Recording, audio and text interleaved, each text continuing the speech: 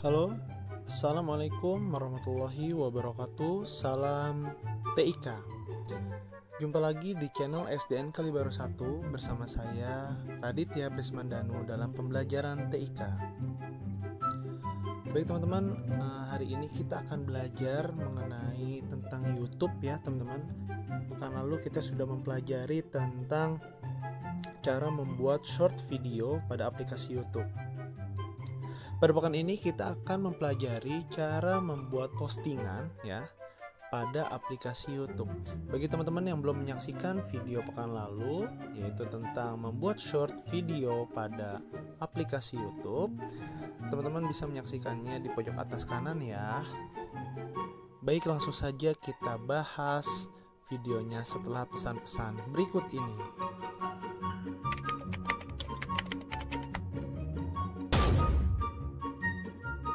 Baik teman-teman, kita ingin membuat postingan pada aplikasi YouTube. Caranya sangat mudah. Yang pertama, kamu harus mem, uh, apa namanya? masuk dulu pada aplikasi YouTube-nya. Kita masuk. Oke, ini sudah ada di menu ya, teman-teman ya.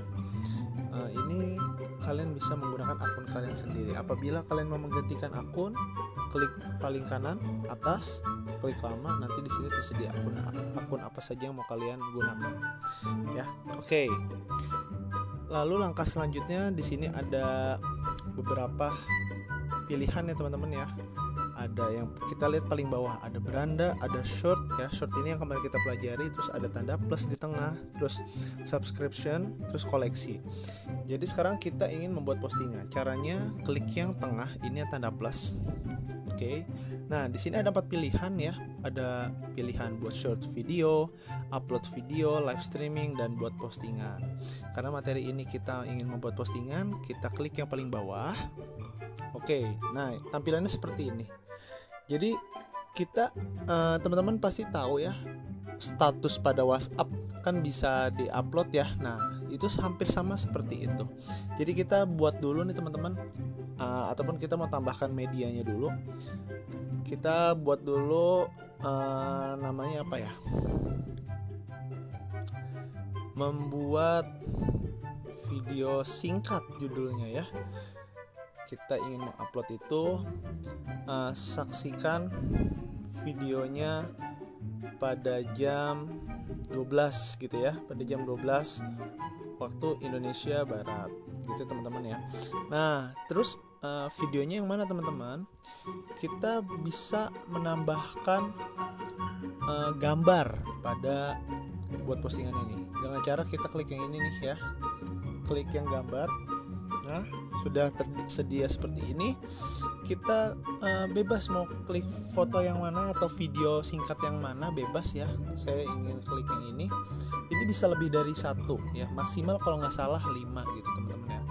Saya coba buat yang ini 1 2 3 ya. Setelah itu klik yang berikutnya. Oke okay. nah, contohnya pada ini ya nah, seperti ini ya teman-teman ya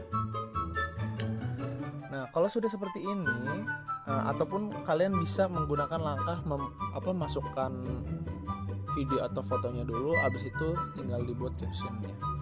Nah sebelum kalian posting kalian lihat dulu. Kalian mau langsung posting atau pakai durasi? Di sini kan kita lihat di sini jam 2341 kita sekarang di sini bisa menjadwalkan teman-teman ya mau menjadwalkannya besok pagi bisa. Berarti tanggal eh, Desember tanggal 4 gitu ya.